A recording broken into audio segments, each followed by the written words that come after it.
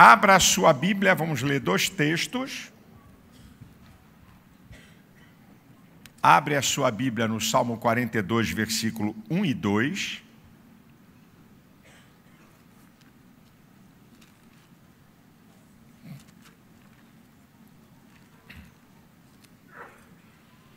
É o primeiro texto que eu vou ler.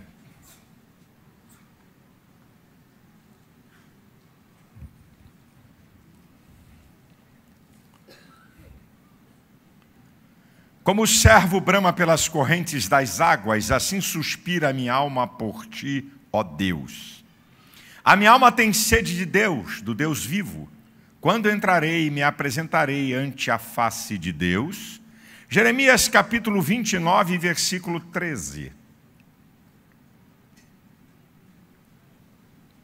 Jeremias 29, 13. Isaías, Jeremias, Ezequiel, Daniel, tá por aí. Tá dando uma pequena microfonia aí, meu brother. Bem no fundo, mas está dando. Jeremias 29, 13.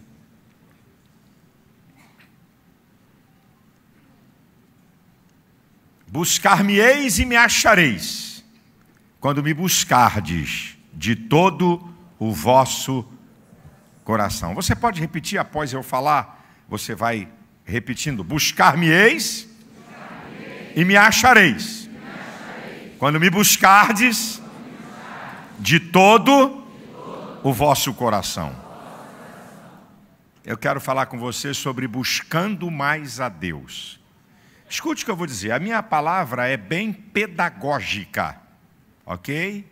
Ela é simples, mas ela é pedagógica para você entender, não vou falar nada até que você não saiba, mas pedagogicamente você entender o significado de buscar mais a Deus.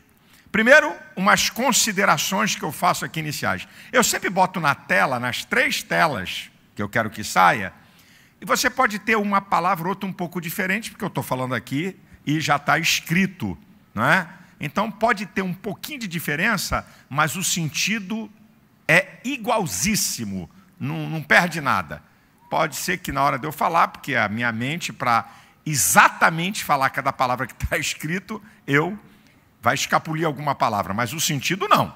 Ok? Então, vamos analisar algumas considerações iniciais sobre essa questão de buscar mais a Deus. Quando a gente está falando de buscar, a primeira consideração é essa aqui, mais a Deus, nós não estamos falando daquela busca porque precisamos de alguma coisa ou porque Deus nos abençoa. Buscar a Deus pelo que Ele é e não pelo que Ele faz. Esse aqui é o primeiro entendimento que eu quero que você tenha, certo? Não estamos falando de busca de Deus por respostas. Não estamos falando de busca de Deus porque Ele nos abençoa. Não, não, não, não, não. Nós estamos falando de busca de Deus por aquilo que Ele é porque ele é Deus. Não é? Não tem nada a ver com o que ele vem a fazer. Segunda consideração, para a gente poder pensar e analisar, buscar mais a Deus, no sentido de aprofundar o nosso relacionamento com Ele. Um ato de aproximação. Então você busca Deus porque você quer um relacionamento mais profundo com Deus. Você quer estar mais próximo de Deus. Terceira consideração é que a questão de se aproximar de Deus, né, de buscar mais a Deus, passa por um desejo, por uma decisão da nossa vontade. Os dois textos que eu li, como servo brama pelas correntes das águas, a minha alma deseja, a minha vontade. A minha alma tem sede, a minha alma anseia. Buscar-me-eis e me achareis. Quem busca sou eu. Então, a questão de buscar mais a Deus não é ato da soberania de Deus, é ato do nosso livre-arbítrio. É você e eu que decidimos se queremos ou não buscar mais a Deus. Tá? É você ou eu. Não tem nada a ver. Deus não pega você pelo queixo traz, embora, vai ter que me buscar. Ah, ah, ah, ah, ah. Nada disso. Buscar a Deus não tem nada a ver com atos da soberania de Deus, tem a ver com atos do livre-arbítrio. A quarta consideração é que buscar mais a Deus, a criatura, só se completa no Criador. O verdadeiro sentido de felicidade está na relação do homem com Deus. Se você pensa que para você alcançar uma plenitude de felicidade é no casamento, você vai ficar decepcionado. Se você pensa que é na sexualidade, vai ficar decepcionado. Se você pensa que é por causa de dinheiro, é isso que dá felicidade. Não, não, não, não, isso é que tem muita gente enganada. O verdadeiro sentido de completude de felicidade vem quando você busca a Deus e se relaciona com Ele.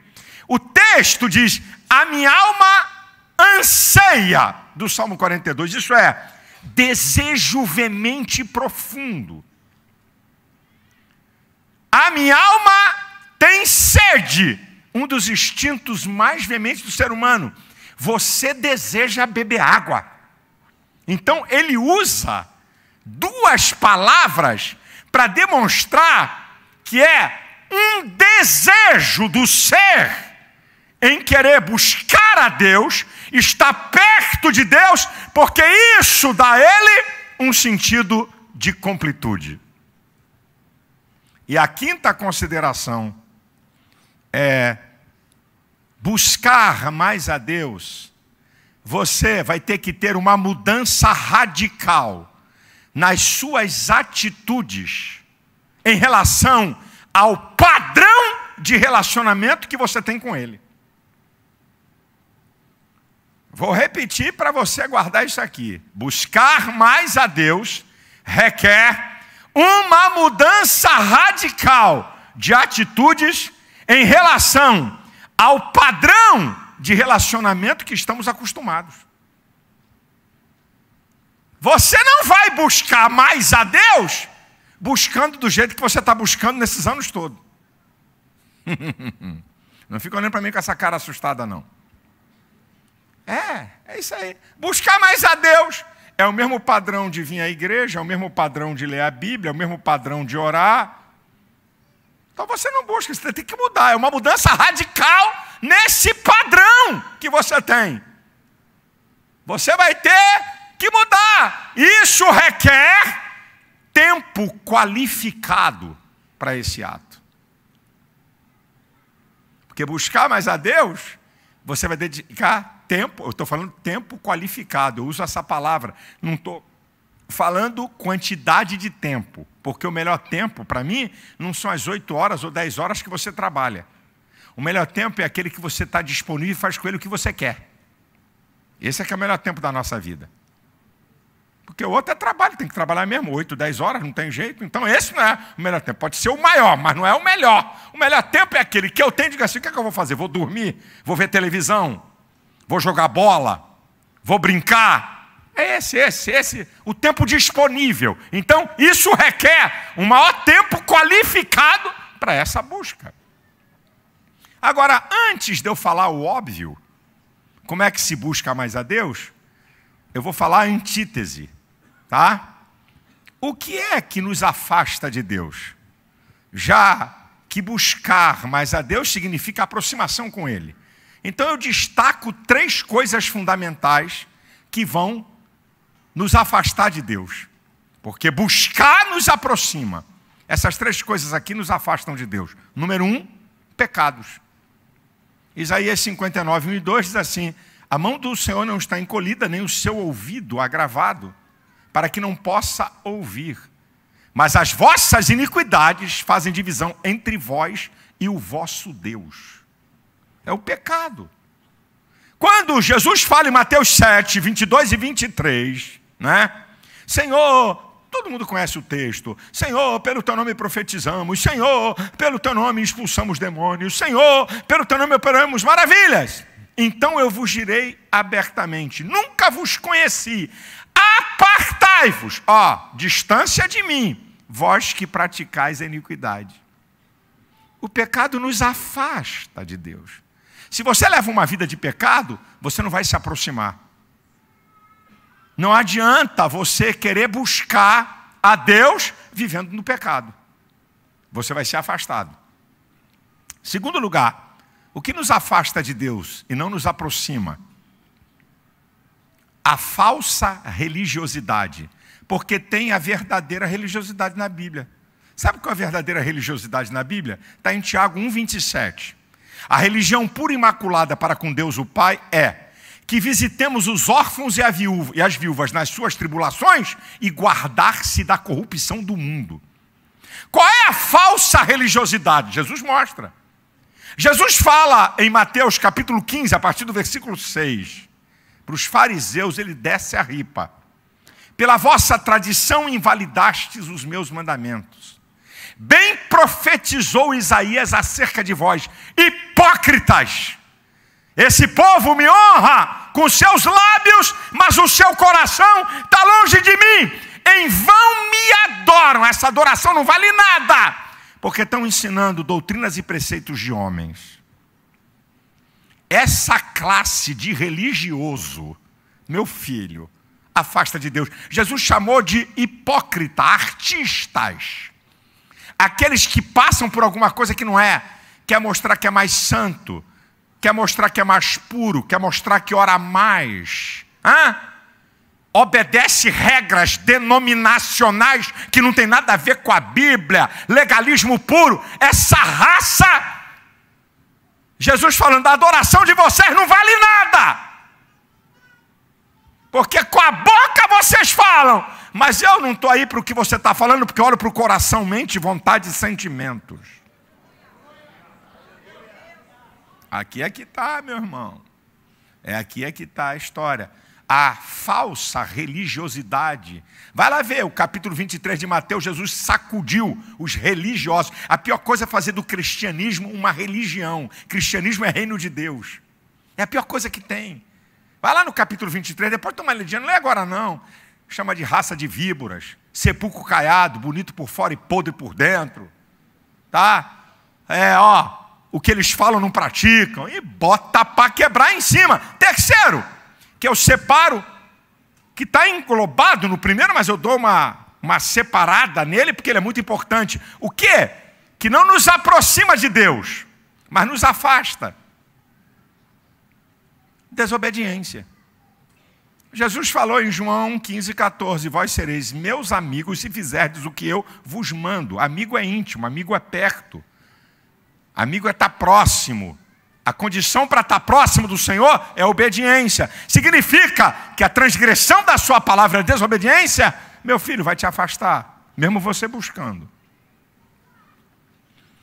Então agora, eu quero mostrar para você o óbvio, mas é o óbvio, sabe por quê? Porque tem gente nova na igreja. E a gente fica preocupado em tentar sofisticar uma mensagem para atender os crentes que estão há 10, 15, 20 anos. E até esses crentes de 10, 15, 20 anos precisam ouvir beabá. Sabe? Beabá. Para poder saber, para poder questionar e confrontar o cristianismo que nós estamos vivendo. Então, como é que se busca mais a Deus? Essa é a questão. O ano de se buscar mais a Deus. Então, como é que se faz isso? Pastor, talvez deve ser assim, entrando em transe por telepatia. Um minuto assim. Hum, ah, busquei. É? Então vamos lá. Como é que se busca mais a Deus? Primeiro, orando mais. orando fala de relacionamento. Orando fala de relacionamento. O apóstolo Paulo diz: orai sem cessar. 1 Tessalonicenses 5,17. Você não precisa estar dentro de uma igreja ou de, no quarto de joelhos dobrados, dentro do ônibus, dentro do carro. Você pode estar orando aqui com a sua mente. Em Marcos 1,35 diz que Jesus acordava bem cedo, antes de clarear o dia. Ia para um lugar deserto para orar. Em Lucas 5,16 diz que Jesus se afastava para orar. Significa que Jesus, em média, ele acordava quatro horas da manhã para orar, ele orava quatro horas por dia. Em média, Jesus orava de quatro às oito, todos os dias. Eu estou falando de Jesus, interessante, né? O Deus que se faz homem, que recebe a forma de homem, vai buscar a presença de Deus. E nós, hein? Pecadores. Hã? O perfeito, o Emanuel, o Deus conosco, orava em média quatro horas por dia, porque a oração produz relacionamento. Se você quer buscar mais a Deus, então ore mais do que você está acostumado a orar até aqui. Número dois, você quer buscar mais a Deus? Tem alguém aqui que quer ou é só teoria ou teologia? Hã? É só? Estou perguntando aqui, é só teologia? Então vamos lá. Número dois, medite mais na palavra de Deus, para você conhecer a sua vontade. Leia mais a palavra. João 5,39, Jesus diz: examinai as escrituras, porque são elas que testificam de mim e também são elas que vão indicar o caminho da vida eterna.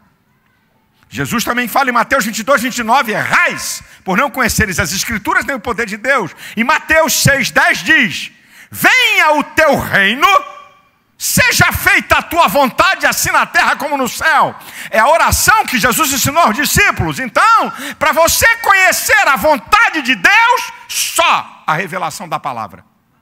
É a palavra de Deus que mostra a vontade de Deus. Como você vai buscar mais a Deus? se você não quer ler a sua instrução e a sua palavra. Então você tem que mudar esse padrão de leitura da palavra de Deus que você faz, se caso você quer buscar mais a Deus. Terceiro, como é que se busca mais a Deus? Adorando mais. Adorar é reconhecer como Deus. A gente fala de Abraão, o homem da fé, mas Abraão também era um homem de adoração. A gente fala muito de Davi. Abraão era um homem de adoração porque ele era um homem de altares. Onde ele passa, ele faz um altar. Altar significa prestar culto, reconhecer como Deus. E lá em Romanos 4:20 diz assim: "E não duvidou da promessa de Deus por incredulidade, mas foi fortificado na fé, dando glória a Deus." Adoração. A coisa está feia, glória a Deus, não tem resposta, glória a Deus, não sei o que vou fazer, glória a Deus. A porta abriu, glória a Deus, a porta fechou, glória a Deus. Está tudo em bonança, glória a Deus. Está tempestade, glória a Deus. Tem vitória, glória a Deus. Tem derrota, glória a Deus. Ele ficou adorando a Deus 25 anos para ver a primeira promessa que Deus tinha feito ele se cumprir. Então, meu filho, você quer buscar mais a Deus? Abra a tua boca não só para pedir, mas abra a tua boca para dizer quem é Deus, a sua grandeza e o adore, porque Ele procura verdadeiros adoradores. Ele se aproxima de verdadeiros adoradores.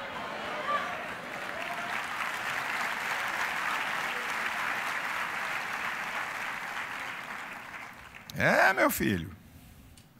Como é? Como é que se busca mais a Deus? Oferecendo o melhor para Deus. E isso indica sacrifício. Porque oferecer o melhor do tempo, do talento e de recursos se paga preço. Como é que se busca mais a Deus? Oferecendo sempre o melhor para Deus. Isso tem custo, isso se paga preço, isso tem sacrifício. Você oferecer tempo, oferecer recursos, oferecer seu talento, você paga preço. Mas você não quer buscar mais a Deus ou alguém já ficou no meio do caminho? Hã? Já ficaram? Hum, ai, um aleluia. Vamos embora, vamos ver se tem mais um aqui. Ai, dois, cinco, ah, dez, ah, trinta, hum, cem. Hã? Aqui tem cinco mil pessoas. Hã? Como é que é? Quinto, como é que se busca mais a Deus? Todo o meu coração voltado com prioridade para Deus. Preste atenção ao texto de Jeremias 29, 13. Buscar-me-eis e me achareis quando buscardes de todo o vosso coração. O que Deus está falando é a prioridade para Ele. Aí você vai lá em Mateus 22, 37, quando perguntar a Jesus qual é o maior mandamento. Jesus vai dizer assim: Amarás o Senhor teu Deus sobre todas as coisas. Amarás ao Senhor teu Deus de todo o teu coração, de toda a tua alma e de todo o teu pensamento. Sabe o que, é que significa essas três coisas? Amar o Senhor meu Deus com todas as minhas emoções, com toda a minha consciência e com toda a minha mente. É priorizar Deus. Amar a Deus sobre todas as coisas. Tem gente que ama mais o carro do que a Deus, porque é capaz de gastar uma grana para comprar um carro, se lacrar todo, viver arrochado por causa do carro. Parece que é uma piada. Mas se eu sou capaz de fazer um, um sacrifício absurdo para comprar um automóvel e não sou capaz de nem fazer a metade para oferecer para Deus, significa que isso vale mais do que Deus, ou será que eu estou enganado no que eu estou falando? Fica ruim de me responder, né, irmão? Porque a gente demonstra se ama mais ou não, não é pela boca, é pela atitude. Viu, querido? Então, amar a Deus sobre todas as coisas, amar mais do que a tua mulher, do que teu marido, do que teus filhos, do que teu negócio, do que tua casa, do que teu carro, do que o dinheiro que você tem. Olha o que que Paulo diz em Colossenses capítulo 3, 1 e 2. Se já ressuscitastes com Cristo, Buscai as coisas que são de cima, onde Cristo está sentado à destra do Pai. Pensai nas coisas que são de cima e não nas que são da terra, porque já estáis mortos e a vossa vida escondida com Cristo em Deus. E quando Cristo, que é a vossa vida, se manifestar, então vós vos manifestareis com Ele em glória. Ele usa duas coisas. Buscar indica ato concreto em direção a alguma coisa. Quem busca está agindo. Pensar você jamais pode agir se primeiro não passar pelo processo mental. Ele está mostrando a prioridade com as coisas de Deus. Buscar a Deus é colocar Deus na prioridade da tua vida. Todo o teu coração, toda a tua alma, toda a tua mente. Por isso que Jesus falou em Mateus 6,33: buscai primeiro o reino de Deus, e todas essas coisas vos serão acrescentadas. Ah, se o povo de Deus entender isso você vai ser levado para um outro patamar de relacionamento com Ele. Como é que se busca mais a Deus? Em sexto lugar, usando mais a fé. Meu irmão, Hebreus 11, 6 diz que sem fé é impossível agradar a Deus, porque é necessário que aquele que se aproxima de Deus, porque busca é se aproximar de Deus, creia que Ele exista e que é galardoador dos que o buscam. Todos os homens da Bíblia que tiveram intimidade com Deus eram homens de fé. Você pode usar lógica, inteligência, intuição, potencial humano e dependência de Deus. E a vida moderna e a vida que oferece tanta coisa, nós passamos mais a acreditar nessas coisas do que em Deus. Então, nós só queremos exercitar nossa fé para coisas sobrenaturais quando o médico diz assim: está com câncer. Essa enfermidade aí é crônica, não tem cura. Essa causa na justiça você não ganha. Aí, oh, Deus, Deus. Só que para você ter um exercício de fé nessas coisas do sobrenatural e do impossível, você tem que aprender a viver pela fé na normalidade da tua vida. Aqui é que está, meu irmão. Senhor, qual a direção que eu tomo nessa questão? Senhor, será que vale a pena eu receber esse emprego que estão me oferecendo? É nessas coisas. Você está exercitando a tua fé. E quanto mais você exercita a sua fé, você está buscando mais a Deus. E você se aproxima mais dele.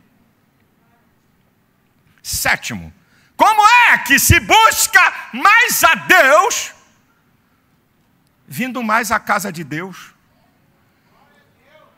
Escuta essa aqui, e agora prepare, porque eu vou te falar. Tem gente que pensa, não, agora, porque a Bíblia diz que o corpo é o templo do Espírito Santo, então o templo físico foi desprezado. Está precisando ler mais a Bíblia. Em Atos 3, 1, Pedro e João subiam ao templo para orar. Em Lucas 19:45, Jesus, e até eu vou ensinar aqui uma coisa, porque a gente faz confusão. Jesus botou para quebrar, virou mesa, deu chicotada. É, vocês têm feito a minha casa de covis, de ladrão, e a minha casa será chamada casa de oração. Aí, uma vez, um pastor aí, que coitado, não deve ter sentado nem no pré-primário da teologia, falando pelo rádio, famoso por falar em rádio, na minha igreja eu não deixo vender uma Bíblia, eu não deixo vender um CD, porque Jesus falou que a casa dele não é casa de vendilhões. Falei, ai meu Deus. Vamos entender o que era aquele tempo. No pátio da entrada do templo ficavam os cambistas. Então um camarada vinha com um animal para oferecer ao Senhor. Aí os caras só podia oferecer animais limpos, sem defeito. Aí o cara pegava, olha a malandragem. Olha, essa pomba aqui está com um problema. Eu tenho uma aqui, perfeita. Me dá a diferença, eu fico com essa. Aí ele fazia isso. Pegava aquela, o outro que entrava, trocava com o outro. Então ele ficava fazendo essa safadeza, sabe, para ganhar dinheiro. Botava defeito no animal e depois aquele animal ele passava para o outro. Jesus viu isso e disse: esses caras, isso é, isso é uma, uma bagunça, uma bandidagem na minha casa. Jesus veio e botou para quebrar. Esse é o sentido. E aí eu vou dizer uma palavra que a minha língua está coçando. Aleluia. Sabe o que, que é? Qual é a bandidagem nos tempos de hoje? Não é por uma Bíblia que se vende, ou por um livro, ou por uma camiseta. Sabe o que, que é? É pedir oferta para o povo e meter no bolso. É fazer campanha na igreja e desviar para interesses. Ah, não, essa que é a verdade de hoje. Esse, hoje, hoje Jesus já dá chicotada nesses caras. Que enganam o povo com negócio de dinheiro e se locopletam. Rapaz, o que eu já ouvi de empresário crente falar para mim sobre isso, de abençoar igrejas e vida de pastor, e neca de pitibiriba, o dinheiro ser desviado para outra coisa. É isso. Agora deixa eu falar uma coisa para você. O apóstolo Paulo, o apóstolo Paulo em Atos 22, 17 diz assim: E eu, quando cheguei em Jerusalém, eu fui para o templo orar e o Senhor me arrebatou, teve um arrebatamento. Olha para onde Paulo foi, para o templo. Há uma atmosfera, esse lugar aqui é consagrado a prestar culto exclusivo para Deus. Há uma presença aqui nesse lugar. O culto na casa da irmã Zefina é muito bom, mas é a casa da irmã Zefina. O culto na casa do irmão Joãozinho Sapatinho de Fogo é muito bom, mas é a casa do irmão Sapatinho de Fogo. Aqui é a casa do Deus Todo-Poderoso. Há aqui um ambiente diferenciado. Há uma glória aqui nesse lugar. Aqui é a casa de Deus. Então, eu aproveito para dizer: você quer buscar Deus? Venha mais à casa de Deus. Mas sabe o que, é que eu vejo? Crentes que só vêm domingo e chegam atrasado na maior cara lavada, como eu vi muitos chegarem aqui hoje, e fazem isso sempre. O culto aqui começa entre 6 e 6 e 37. Eu dou 7 minutos de tolerância. Pode botar no teu relógio. 6 e 45 6,50, 6,55. Tem gente entrando dentro da igreja. Por quê? Ficou vendo se o time ia conseguir se classificar? É isso? Por isso chegou atrasado? Pô, pode alguém chegar atrasado por um motivo. Pastor, o carro quebrou no meio do caminho. Pode acontecer. Pastor, eu vim do trabalho, eu entendo. Você não precisa nem estar preocupado, porque Deus está vendo. Mas não é para esses que eu estou falando, não. É para gente que não tem disciplina que não chega antes, quer mais de Deus, quer se aproximar de Deus, quer buscar Deus e não tem o mínimo, o mínimo da consideração de chegar cinco minutos antes do culto começar três minutos antes para dobrar o joelho, para orar, ou chegar na hora que o culto começa e você vem com essa conversa fiada que você quer buscar mais a Deus. Se nenhum culto uma vez por semana, você capaz de chegar no horário.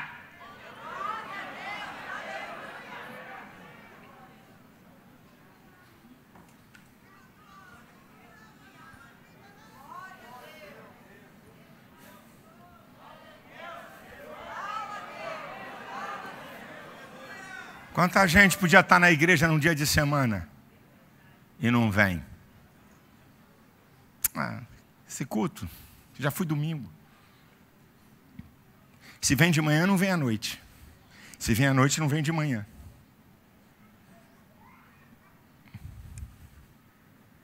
É mesmo uma coisa séria. Queremos buscar mais a Deus como? Então preste atenção no que eu vou te falar. Preste atenção o que eu vou te falar, meu filho, aqui. O que eu vou te falar aqui. Buscar mais a Deus não é um ato esporádico, mas contínuo, que requer disciplina sobre tudo que eu acabei de falar. Buscar mais a Deus não é um ato esporádico, mas contínuo, que requer disciplina em tudo que falei. Olha Daniel 6,10. Daniel governava 40 cidades. Não tinha telefone, não tinha automóvel, não tinha avião, não tinha celular. E a Bíblia diz: e Daniel orava três vezes ao dia, como antes estava acostumado a fazer. Isso é, desde que ele era garoto, ele orava três vezes ao dia. Virou governador de 40, de 40 províncias.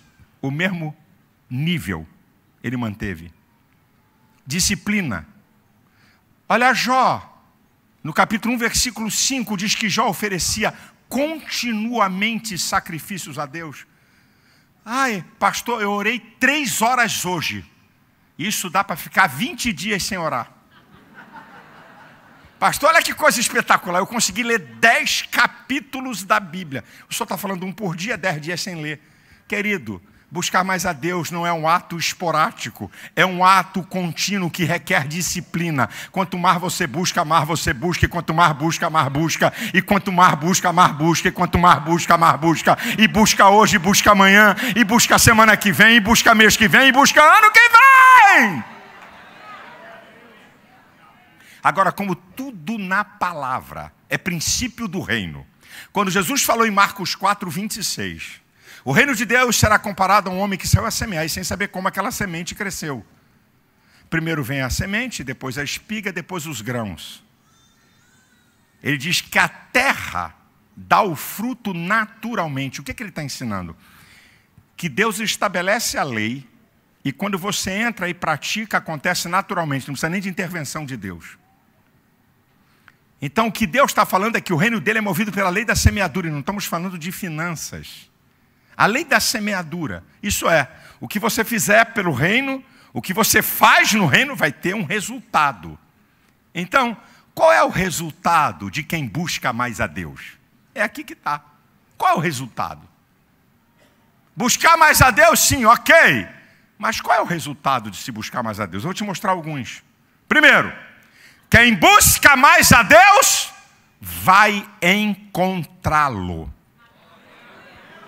Buscar-me-eis e me achareis, se me buscardes de todo o vosso coração. Vai encontrar quem? Quem é que vai encontrar? Ah, vai encontrar o Deus que está em Isaías 64, 4. Desde a antiguidade não se ouviu, nem com o ouvido se percebeu, nem com os olhos viram um Deus além de ti que trabalha em favor daquele que nele espera. Quem é que você vai encontrar? O Deus do Salmo 89, versículo 13. Pois tu tens um braço poderoso, forte é a tua mão, elevada é a tua destra. Quem é que você vai encontrar? Que Deus? É Deus de madeira? É Deus de pedra? É Deus de gesso? Que Deus você vai encontrar? O Deus do Salmo 86, versículo 8 e 10. Entre os deuses não há semelhante a ti, nem obras como as tuas, porque tu és grande e opera maravilhas, só tu és Deus. Qual é o Deus que você vai encontrar? É o Deus de Isaías 41:10. Não temas porque eu estou contigo, não te assombres porque eu sou teu Deus. Eu te ajudo, eu te esforço, eu te sustento com a destra da minha justiça. Que Deus é esse que você vai encontrar? O Deus do Salmo 115, versículo 3. O Senhor está nos céus e faz tudo o que lhe apraz. Qual é o Deus que você vai encontrar? O de Isaías 43, 13. Antes que houvesse dia, eu sou. Ninguém há que possa escapar das minhas mãos. Operando eu, quem impedirá? É o Deus Todo-Poderoso que possui todo o poder e glória nos céus e na terra. Esse é o Deus que você vai encontrar.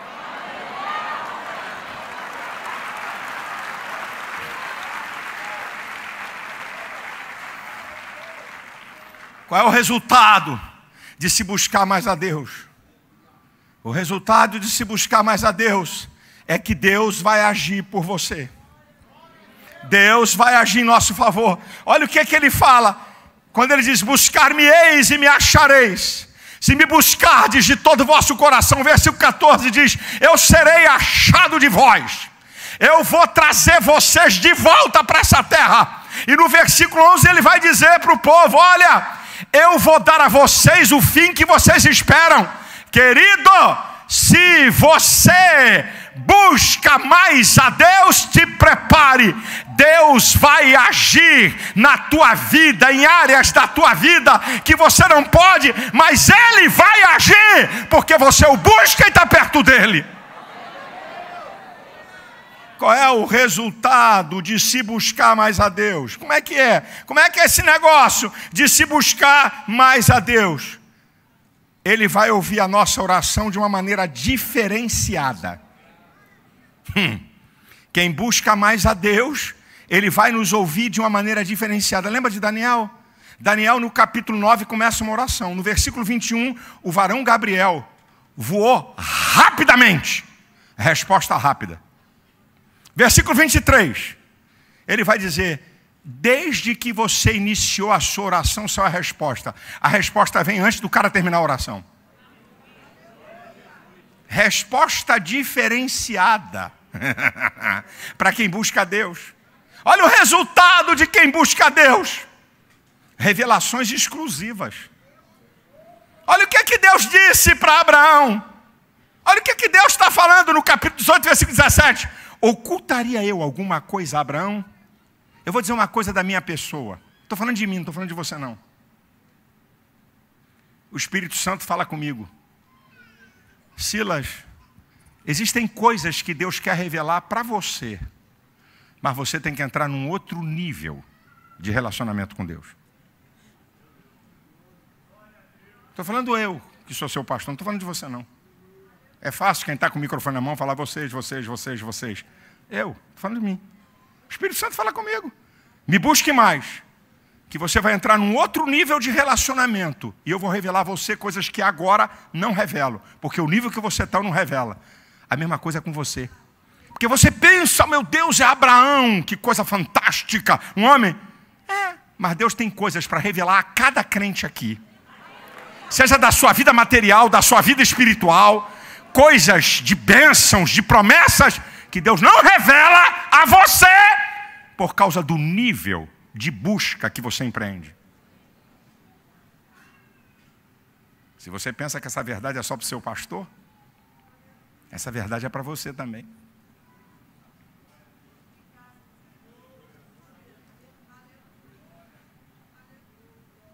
Porque há coisas que Deus não vai revelar.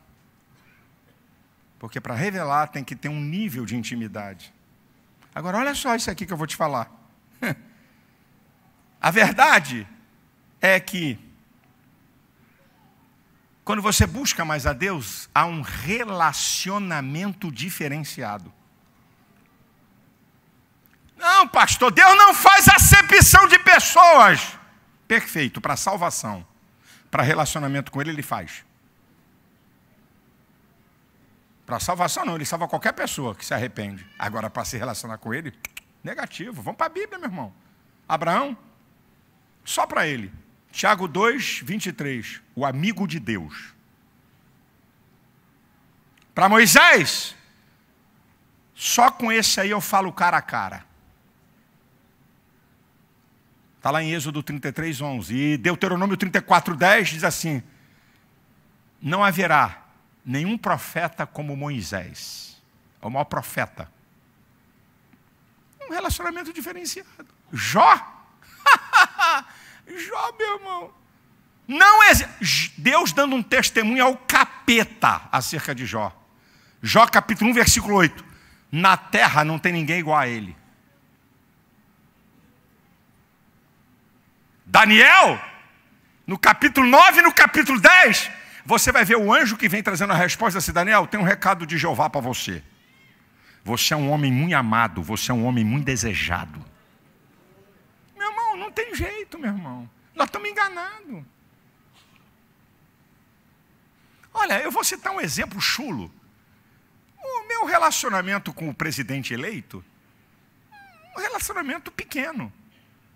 Eu fiz o casamento dele.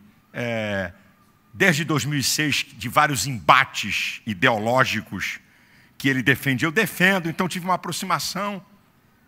É, um relacionamento pequeno meu com o presidente me faz eu ir na casa dele falar com ele, faz ele vir aqui na igreja, quando é eleito, a primeira vez que ele sai fora da casa depois de eleito foi para vir aqui isso é uma demonstração, medir que o meu relacionamento com ele é, é pequeno. Então, mas porque eu tenho algum relacionamento com ele, eu tenho um tratamento diferenciado. Eu posso ligar para ele e ele vai me responder quando eu mando um zap. Quero falar com o senhor. Pode passar um dia. O que é Malafaia? Por quê? Ele falou para mim: depois que eu fui eleito, eu bloqueei mais ou menos uns 300 números de telefone. Tu imagina, um cara desse eleito presidente, o telefone dele tem anos, e por que ele não me bloqueou? Por que bloqueou mais de 300 pessoas? Porque eu tenho um pequeno nível de relacionamento. Tem outros que têm um nível maior de relacionamento com ele. Você já viu aquele negão que anda perto dele, que foi eleito deputado federal? Vai ver a história dele. É amigo dele desde a escola militar. Anda com ele para cima e para baixo o tempo inteiro. Está perto dele. Porque o nível de relacionamento dele é maior. Pode ver qualquer foto, está ele lá. Pode ver. Por que isso? Chego na casa dele, está lá, ô pastor. Ele é crente. Ô pastor, como é que está o senhor? Tudo bem? Está lá não fala, não participa de reunião, mas onde o presidente está, ele está. Foi eleito o deputado federal mais votado do estado do Rio de Janeiro. Hã? Porque ele é militar, carregou o presidente nas costas em exercício. Então ele tem um outro nível. Esse outro nível faz ele entrar no condomínio desse cara a hora que quer. Ele chega na portaria, entra. Eu não. Se chegar na portaria, eu tenho que parar meu carro, tem que dar meu nome, tem que esperar ele fazer um contato lá dentro da casa para ser liberado. Por quê? Porque eu estou num nível menor do que ele. Ele não, ele entra, entra direto para o pessoal ver, não precisa ligar, porque ele é da intimidade. Meu irmão, se com os homens é assim, você acha que com Deus é como? Quanto mais você busca Deus, mais imagina Deus, imagina o que Ele é, imagina o que Ele tem, imagina o que Ele faz.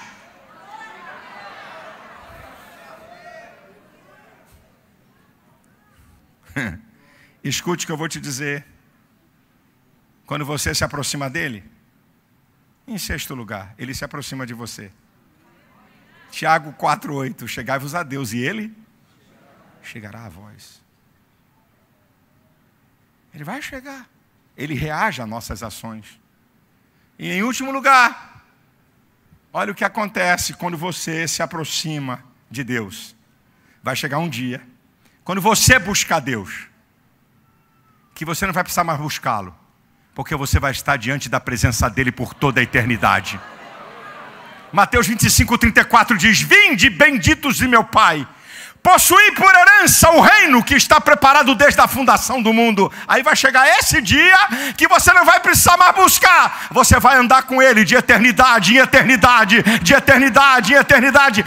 Esse é o tempo de buscarmos mais a Deus. Mude o teu padrão.